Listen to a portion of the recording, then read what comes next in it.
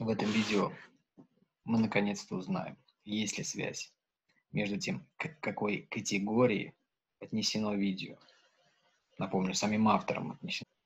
И тем, какую вовлеченность от зрителей получает видео. И с точки зрения использования Python в этом видео будут задействованы следующие методы и атрибуты касательно пандаса, касательно рандана, общепайтоновские команды и касательно matplotlib. Напомню, это пакет, который позволяет строить графики. Импортирую pandas. Достаю из Excel таблицу с видео, куда уже записаны category names и добавлено переменная involvement, то есть вовлеченность. Если что, добавлял их в предыдущем видео. На всякий случай проверьте, что она у вас есть. Involvement в конце. Я хочу выяснить, есть ли связь между столбцом category name. Как получить описательную статистику по этому столбцу, смотрите в одном из предыдущих видео. Ссылка будет на экране. И переменная involvement, вовлеченность. Category name – это номинальная переменная, потому что ее категории нельзя упорядочить. Сущностно между категориями нет отношений порядка. А переменная involvement количественная, потому что она получена из четырех количественных переменных из четырех статистик, которые YouTube показывает для каждого видео. Количество лайков, дизлайков, комментариев и количество просмотров видео. Какими методами можно искать связь между номинальной переменной и количественной? Обратимся к шпаргалке. Зеленый столбик. Обе переменные, интервальные, ну или количественные. Это не мой случай. Не обе количественные хотя бы одна порядковая. Тоже не мой случай. У меня одна переменная номинальная. Это значит, что коэффициент корреляции Пирсона, который я применял в прошлом видео, здесь не применим. Коэффициент корреляции с Пирманом я его не применял, но и здесь он не применим. Применим только критерий хи квадрат и прилагающиеся к нему остатки. И он более сложен в применении, чем верхние два коэффициента но нет ничего невозможного. Применим критерий квадрат и его остатки. Обращаюсь к пакету runDone. Начинаю печатать, нажимаю Tab. Вылезает подсказка runDone. ок. В какой из папок этого пакета мне найти нужные методы? Нажимаю точку и снова запрашиваю подсказку при помощи клавиши Tab. Bivariate Association. Может быть. Не clustering, не comparison. Bivariate Association.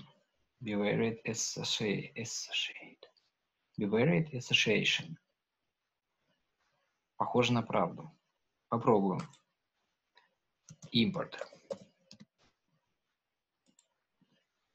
Пробел и снова Tab. Что есть в папке Bivariate Association? Correlation. Нет, не то, потому что мне нужен не коэффициент корреляции. Здесь есть из чего выбрать. Keysquare. Может быть, Keysquare Contingency. Тоже. Cross-Tab. Вполне. Как выбрать? Следует обратиться к документации. github.com Lenovo Rundown. Прокручиваю вниз и здесь смотрю название папки Bivariate Association. Что мне может пригодиться? Вот здесь речь идет о классах. Классы имеют название, начинающиеся с больших букв. И похоже, что мне нужен именно кросс-таб, потому что все остальное либо не имеет отношения к bivariate association, либо является корреляция. Корреляция – это некий квадрат. Корреляция – это коэффициент корреляции Пирсона, коэффициент корреляции Спирмана. Они мне не нужны. Мне нужен кросстап. Получается, что вот эти названия относятся к методам конкретным. А мне нужен класс методов, сумма методов. И они находятся в классе CrossTab. Запускаю. Вызываю класс CrossTab. После открытой скобки можно нажать Shift-Tab два раза и посмотреть на описание аргументов этого класса. В частности, надо указать DataFrame, название строковой переменной, название столбцовой переменной. Также можно менять significance level, то есть уровень значимости. DataFrame есть, название строковой переменной есть, название столбцовой переменной есть, потому что между этими переменными я и хочу искать связь. Запускаем. Гигантский кросстаб, или по-русски таблица сопряженности, гигантский.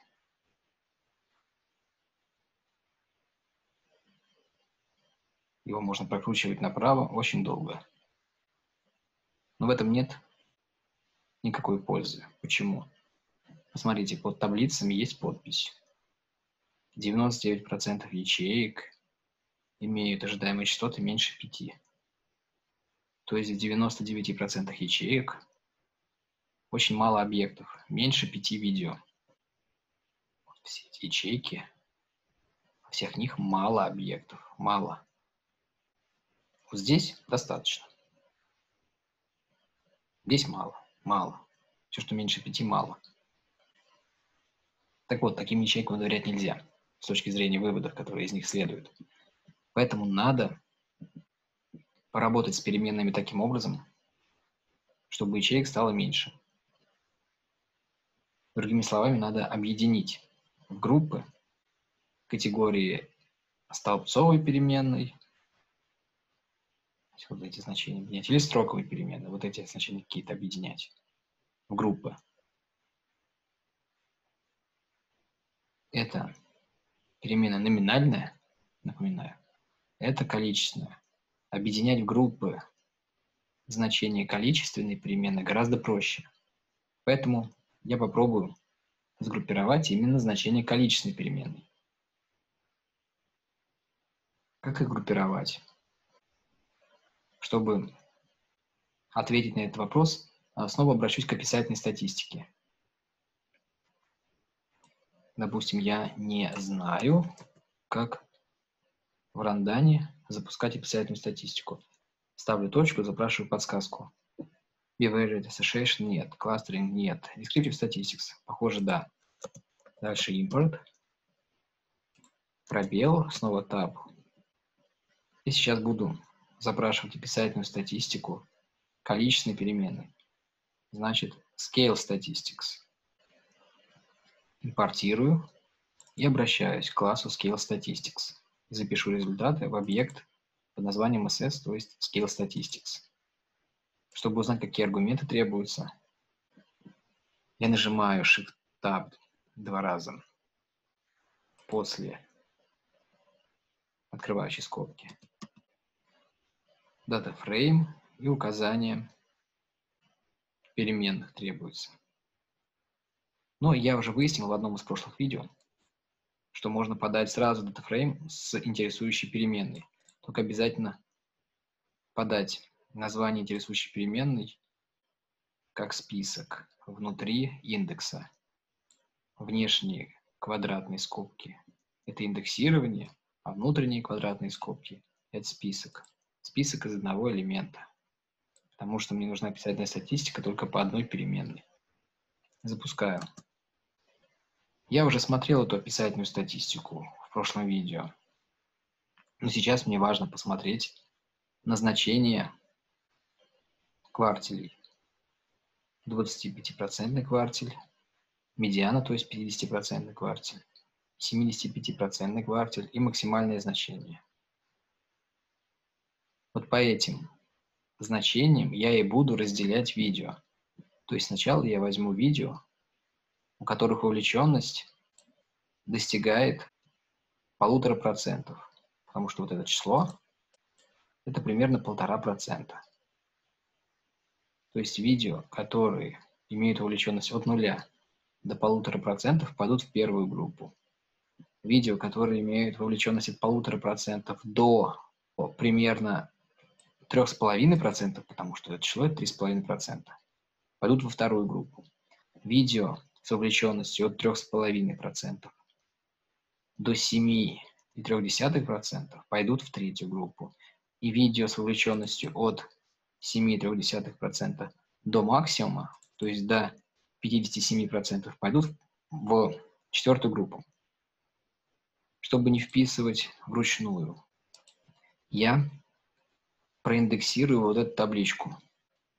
Возьму из нее только вот это значение. Как? Нужно обратиться к тому объекту, куда я записал описательную статистику, и применить метод summary. Что я здесь и делаю. А дальше индексирую. Обращаюсь к столбцу под названием 25%, вот этому столбцу, и к строке под названием involvement, вот к этой строке. Ну, она здесь одна. Получил число, которое соответствует этому числу. Но здесь оно округлено, а здесь нет. Я хочу тоже округлить. Округляю. Использую команду round. Команда round имеет обязательный аргумент, что округляется, и аргумент, показывающий, сколько знаков после запятой следует оставить. Три знака после запятой хочу. Запускаю. Вот оно, то самое число. Примерно полтора процента. Теперь при помощи команды display вывожу аналогичным образом и значение для первого квартиля, и значение для медианы, и значение для третьего квартиля, то есть 75%, и значение для максимального уровня вовлеченности. То есть одни и те же команды, только меняется название столбца. Вот они, эти столбцы. Здесь их название. Запускаю. Четыре числа те самые числа, по которым я и буду группировать видео с точки зрения их вовлеченности. Запишу эти числа в список. То есть просто отсюда заберу эти команды и вставлю их в квадратные скобки. Еще раз отсюда забираю копирую, и вместо дисплея оказываются просто квадратные скобки. И записываю я это в список под названием Involvement Borders. Граница вовлеченности.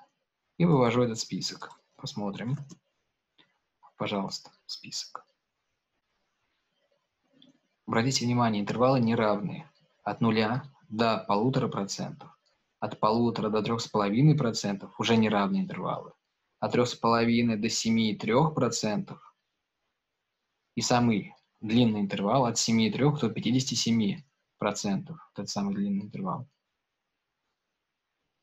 Но всегда приходится выбирать, почти всегда, сделать группы по равным интервалам, ну, например, от нуля до 5%, от 5 до 10%, от 10 до 15% и так далее. Равные интервалы. Или же сделать равнонаполненные группы. Вот у меня сейчас будут примерно равнонаполненные группы. По 25% наблюдений попадет в каждый интервал. То есть интервал от 0 до полутора процентов. Это примерно 25% видео. Второй интервал вовлеченности от полутора процентов до трех с половиной процентов это следующие 25% видео.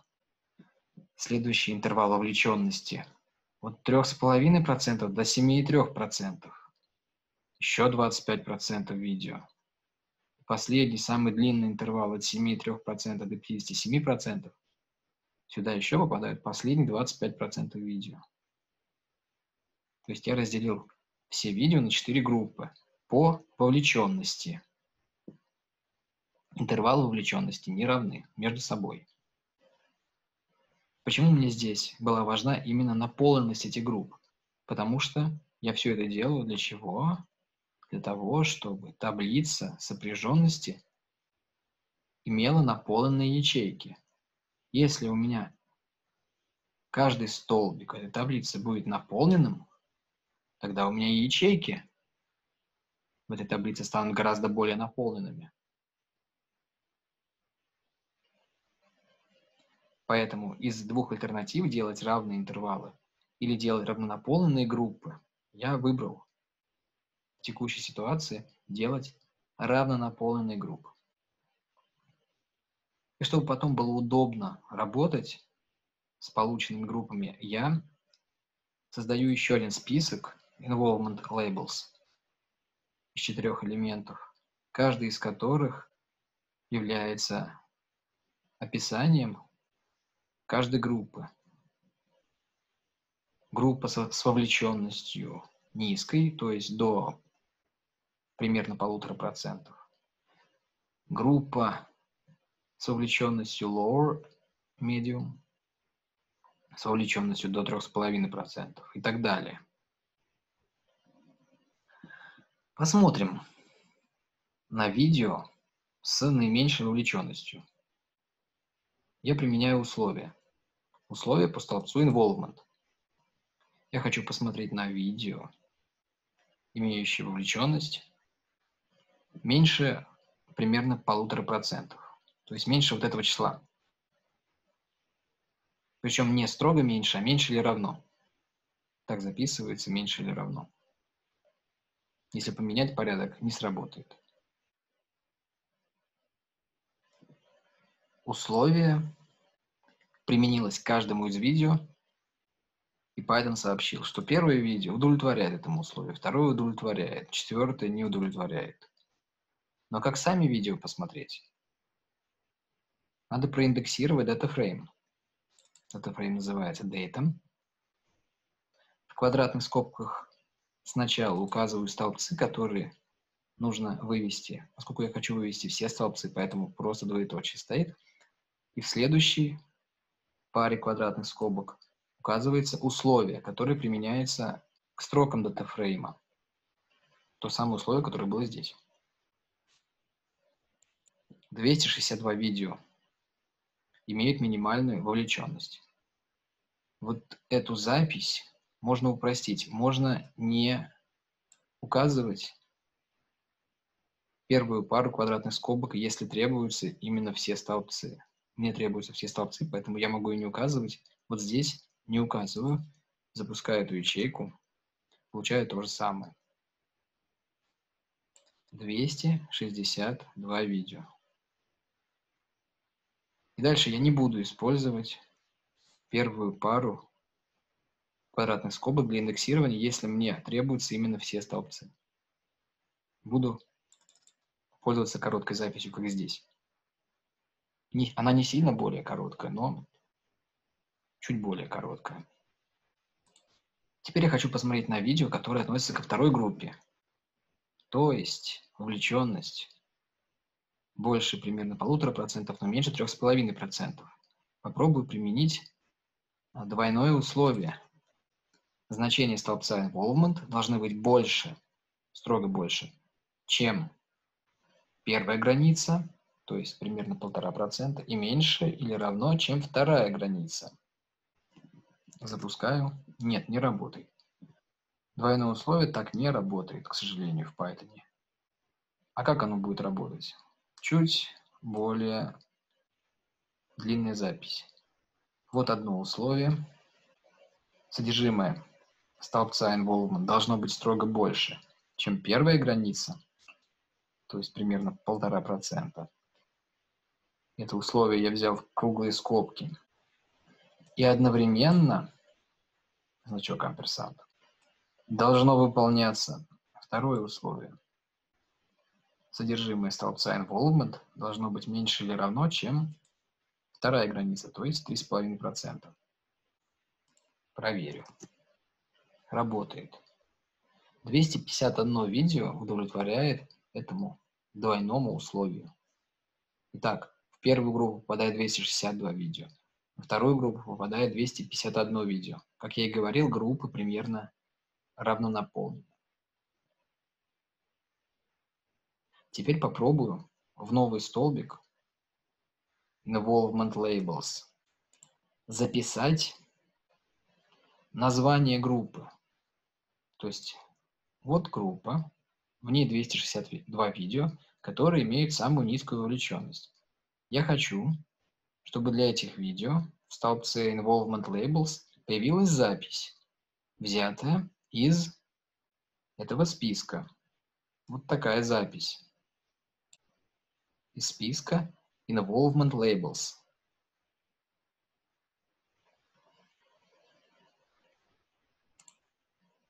Я индексирую, как привыкли. То есть сначала идет название нового столбца. Я его еще не создавал. Но надеюсь, что Pandas меня поймет. И дальше условия для строчек моего датафрейма. Что увлеченность должна быть меньше или равна нижней границе. То есть меньше или равна примерно полутора процентов.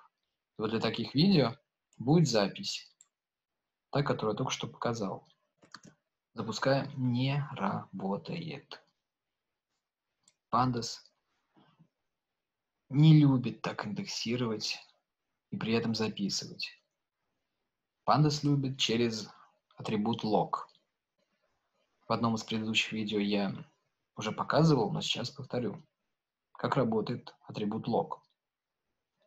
Атрибут log предполагает одну пару квадратных скобок. Здесь было две пары. Одна для названия столбца, вторая для строк. Здесь же одна пара, внутри которой сначала идет условие, в данном случае условие для строк, могли бы и номера строк идти. В данном случае пойдет условие для строк. Нужны только те строки датафрейма, в которых вовлеченность меньше нижней границы. И дальше идет название столбца, куда я запишу лейбл для этой группы видео, то есть видео с низкой вовлеченностью. Причем этот столбик я еще не создавал, его еще нету в датафрейме. Можно подняться и посмотреть. Последний столбик это просто involvement. Здесь пока нет никакого столбца involvement labels. Но благодаря тому, что здесь есть атрибут log, Pandas меня поймет. Запускаю. Действительно, условие сработало. Описание групп появилось. И в этой строчке кода я вывел только те видео, которые относятся к первой группе. Группе с самой низкой увлеченностью. 262 видео. Теперь у них есть свое наименование до 0.014 low involvement. То же самое я хочу проделать для остальных трех групп по уровню вовлеченности. Я это сделаю при помощи цикла for in. I – это счетчик. Этот счетчик меняется в данном случае в числовом диапазоне от 1 до четырех. Четыре – это количество границ для разделения на группы. С границы номер ноль я уже поработал. Вот она была граница номер ноль. Ну, то есть по-нашему, по-человечески первая граница. А граница номер один станет началом работы этого цикла. То есть счетчик И сразу получит значение 1. Сюда, в три строчки кода, я запихнул вот эту строчку. Но поскольку в этой строчке будут фигурировать уже два условия для того, чтобы вторую группу записать, два условия через амперсант, два условия, как я выше записывал. Вот. Здесь было два условия. Вот здесь я просто выводил видео, удовлетворяющее этим двум условиям. Я не ставил подписи этим видео.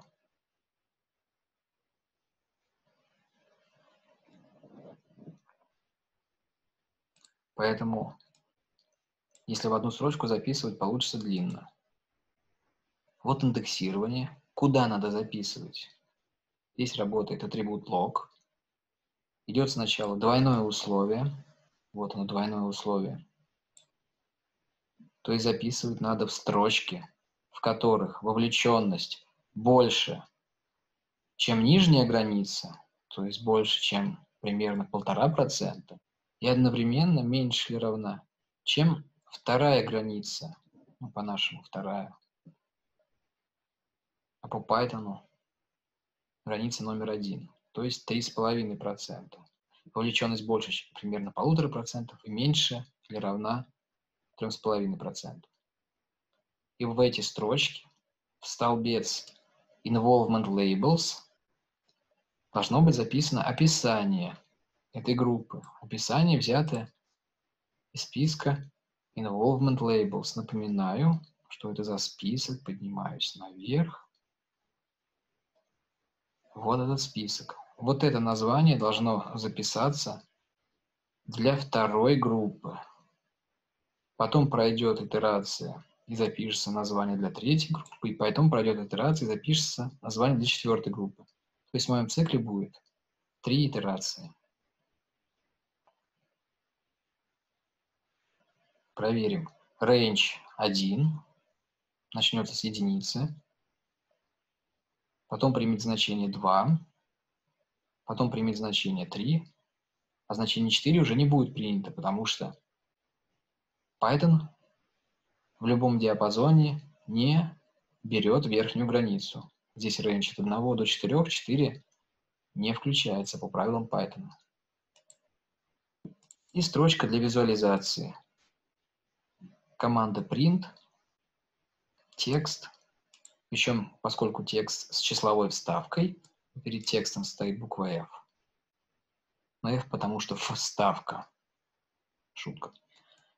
И внутри числовой вставки как раз указано значение счетчика, чтобы видеть, как происходит цикл, хотя он очень быстрый.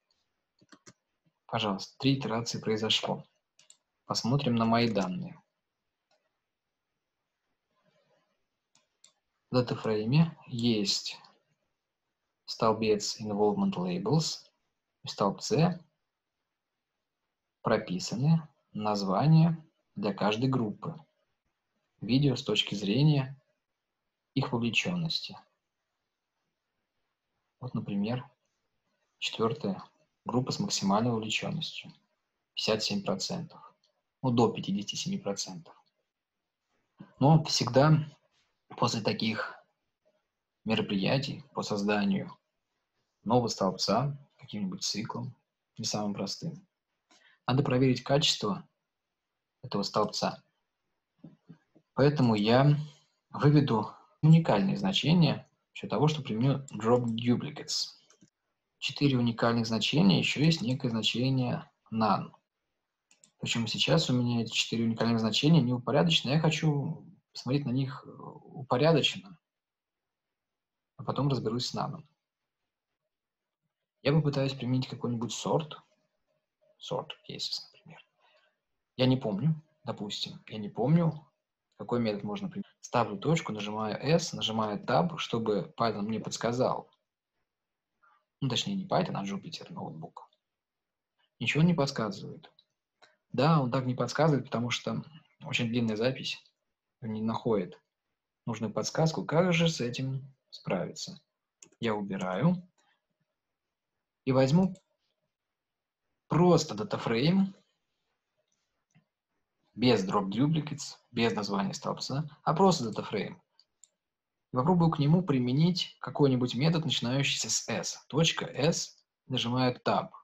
Вот, смотрите, подсказка сработала. Смотрите, sort index и sort values. Но мне явно не по индексу надо сортировать. Индекс, напомню, это номера строк. Мне надо сортировать по значениям, то есть мне нужно sort values. Попробую в следующем чанке применить sort values. То есть взял отсюда код, вставил сюда, еще добавил sort values. Как-то криво работает, да?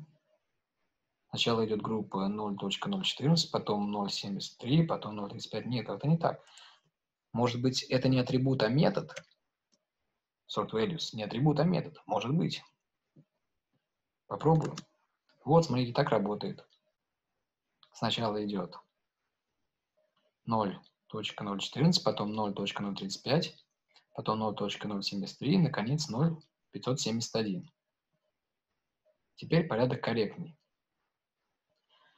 Это как раз те названия групп, которые я ожидал увидеть. Значит, цикл работал корректно. Остались только некие NA.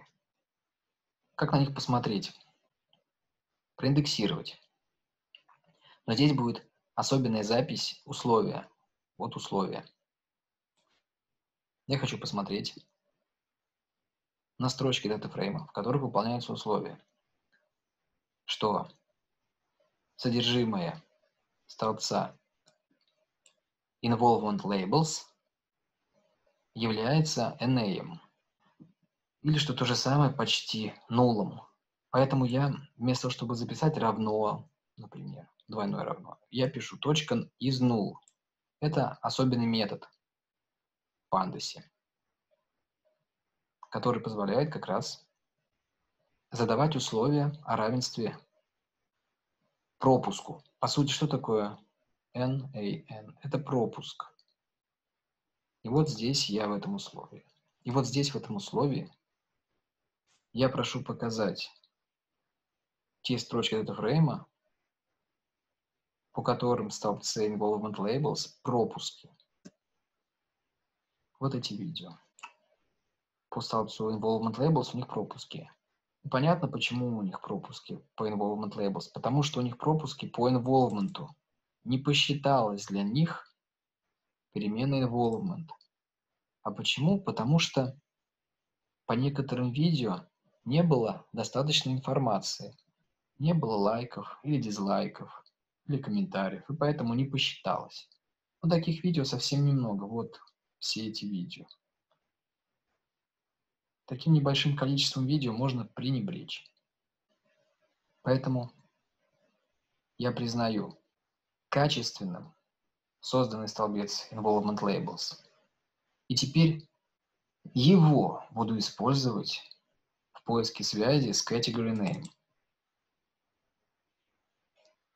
То есть теперь я решаю содержательную задачу найти связь между категорией видео и степенью вовлеченности. Причем я сделал 4 степени вовлеченности. Самая низкая, повыше, еще выше и максимальная.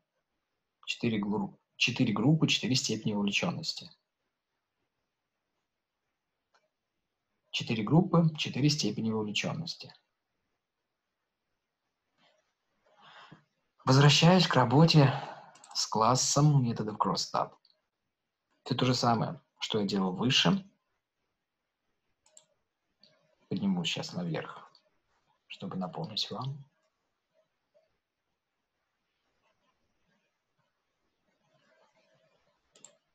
Но здесь фигурировала столбцовая переменная involvement, то есть та переменная, которая в кросставе по столбцам расположилась.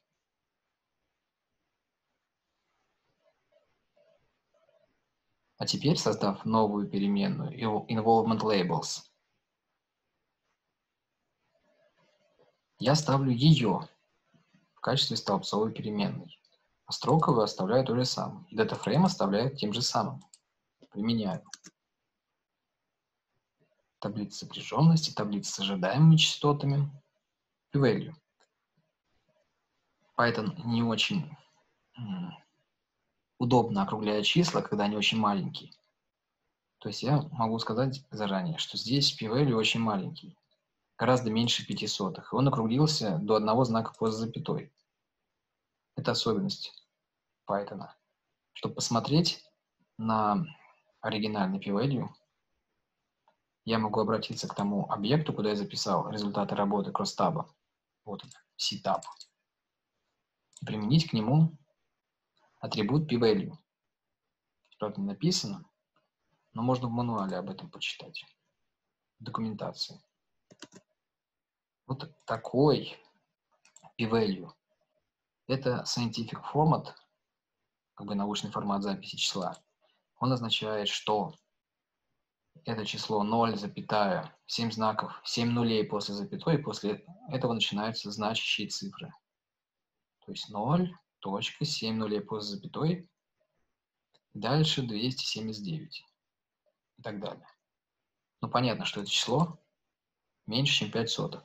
То есть с уверенностью 95% я могу сказать, что между category name и involvement labels есть связь в генеральной совокупности. То есть среди всех видео YouTube. Если, конечно, моя выборка репрезентативна. Ну, по крайней мере, среди всех видео на YouTube, выдаваемых по запросу раздельный сбор. Я думаю, так корректно сформулировать. Так вот, связь есть. Могу ли я доверять этим выводам? У меня здесь 53% ячеек не наполнены. То есть было почти 100% ненаполненных ячеек, и теперь 53%. Ну, тоже многовато. Ну, посмотрим, что делать дальше. Посмотрим на табличку с остатками и решим. Что такое остатки? Остатки – это слагаемый критерий хи квадрат, если математически. А содержательно – это показатели наличия связи между конкретными значениями. Вот я дошел до таблицы, которая называется Residual Pearson. Это как раз и есть те самые остатки. И здесь надо искать те числа, которые по модулю больше, чем 1,96. Именно они будут говорить о наличии статистически значимой связи, которой, которой можно доверять на 95%. Так, 1,96. Это тот порог, который говорит о наличии связи с уверенностью 95% по модулю. Но обычно ищут именно положительные значения остатков. Ну вот, например, 3.055 – это большой положительный остаток. Он больше, чем 1,96.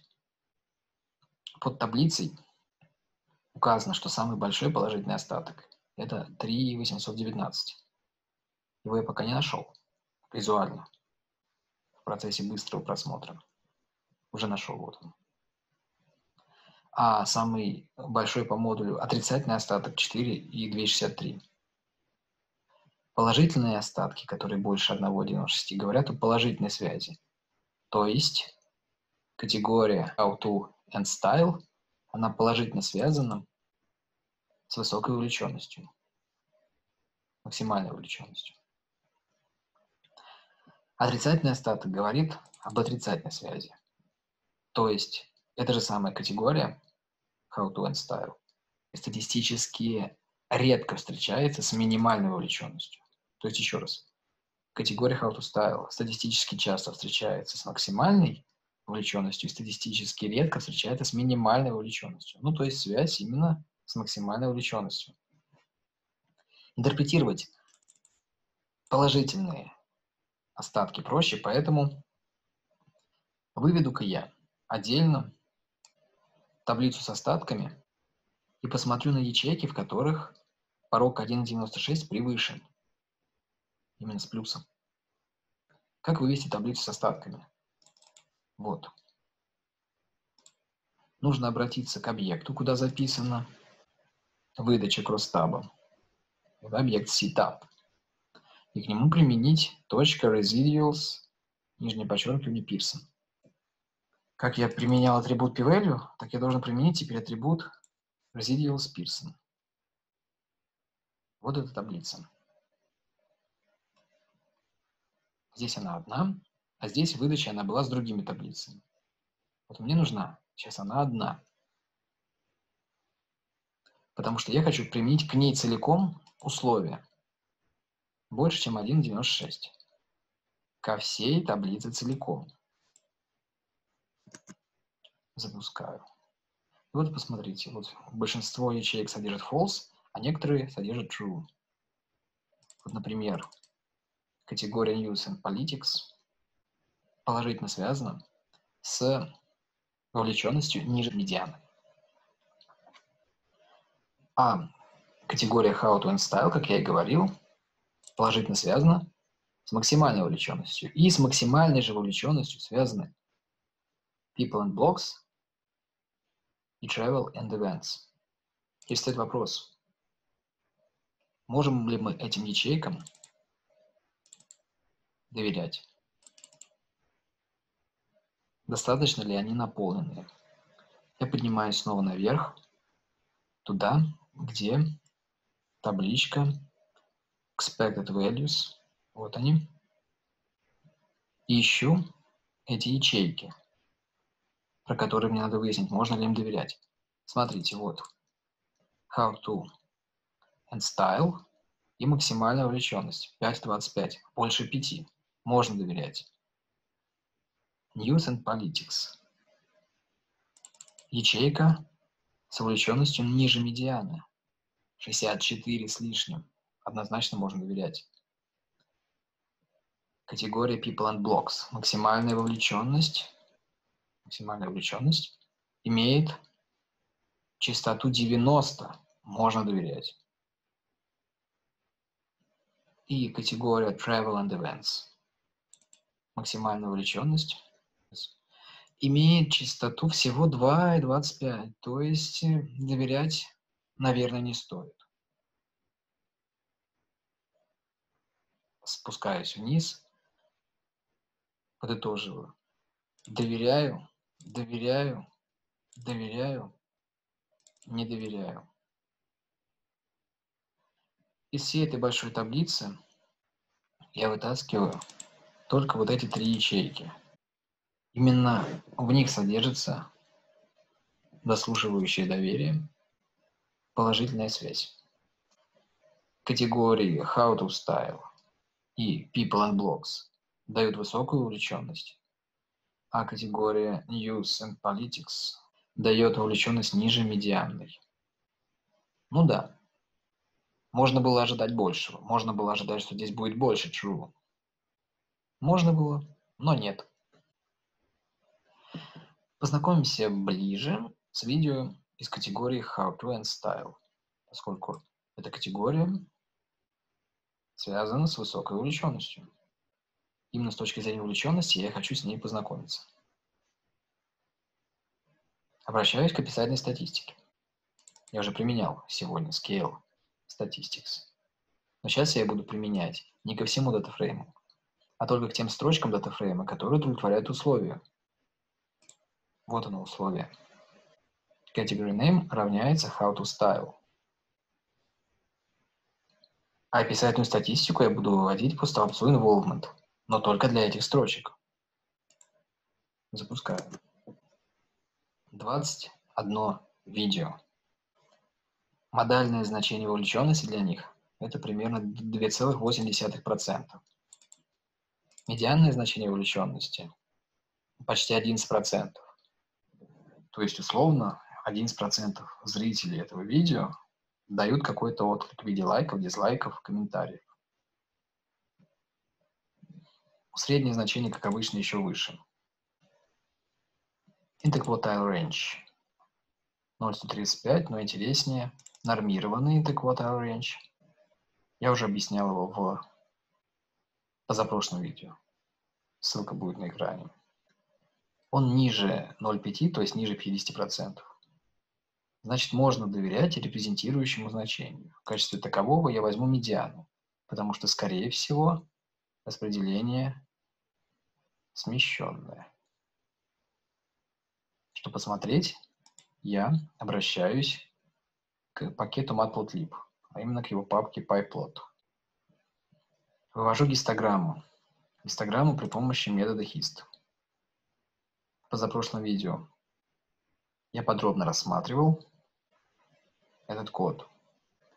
Здесь только подчеркну, что подаю в этот метод DataFrame с индексированием и по столбцу, то есть подаю столбец involvement, я же описательную статистику по столбцу involvement делаю, но и индексирование по строкам этого датафрейма. То есть только те строки будут участвовать в построении графика, которых видео относится к категории How to End Style.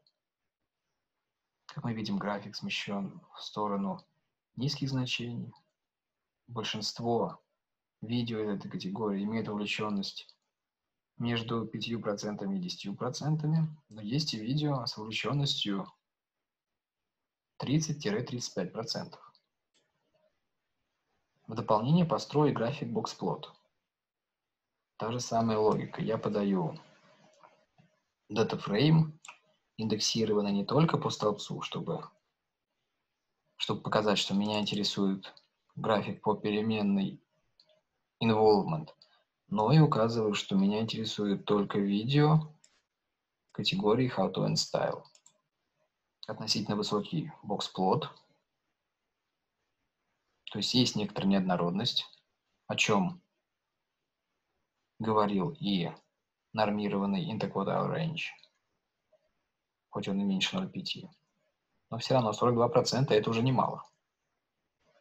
Медиана, смещение в область низких значений, выбросов нет. Ну и хотелось бы познакомиться с самым типичным видео из категории How to End Style, то есть видео, которое имеет медианную вовлеченность.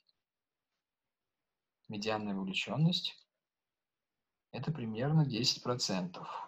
Посмотрим по таблице, да, ну 11. Как найти это видео? Проиндексировать это фрейм. Причем двойным условием. Посмотрите, двойное условие. Во-первых, требуются строчки, в которых видео, относящиеся к категории How to End Style. И во-вторых, значение перемены involvement, что вот здесь я записал, что var – это involvement. Значение перемены involvement или вовлеченность должно быть равно медианному значению, взятому из таблицы ss.summary. Что такое таблица ss.summary? ss – это название объекта, куда я записал результат описательной статистики, то есть результат применения Scale Statistics. Объект ss. Эта таблица вызывается ss.summary круглые скобки. Вот я и вызвал в этом условии ss.summary круглые скобки. Дальше я беру столбец медиана и строку involvement. Столбец медиана и строка involvement. Там и будет внутри значение 0.109. Я могу просто взять и написать здесь вместо всего вот этого 0.109. Но этот код я уже использовал в двух предыдущих видео, поэтому он вполне универсален. Я скопировал его оттуда, вставил сюда. И, пожалуйста, он прекрасно работает. Такое видео, которое я искал, наиболее типичное в категории How to End Style, имеющее медианную вовлеченность, оно всего одно. Вот оно. Посмотрим его. Беру его ID, копирую и перехожу в браузер. Вставляю ID этого видео. Запускаю. Что ты такое говоришь?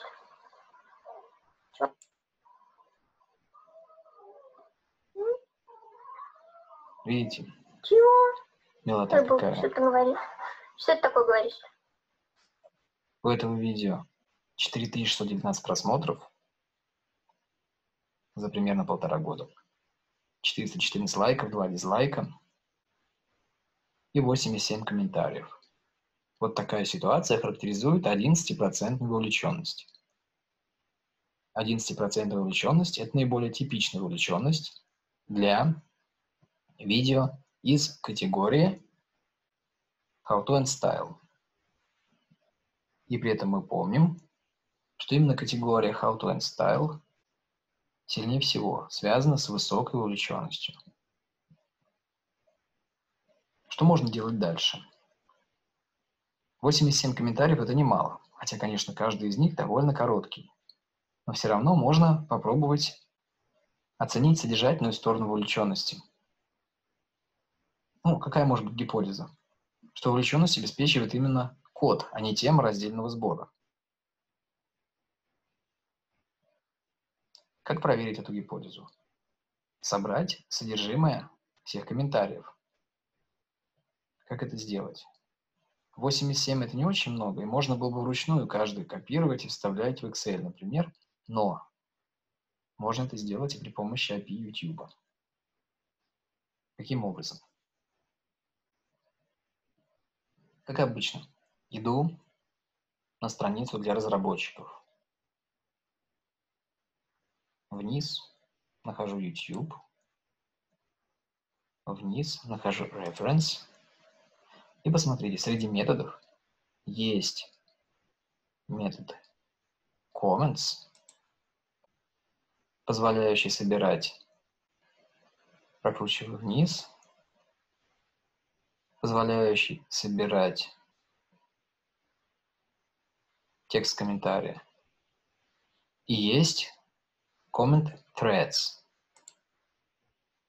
тоже позволяющий собирать тексты комментариев в привязке к конкретному видео.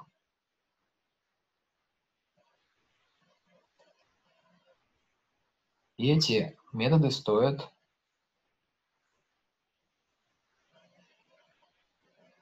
дешево по одному юниту. И comment threads, и comments по одному юниту.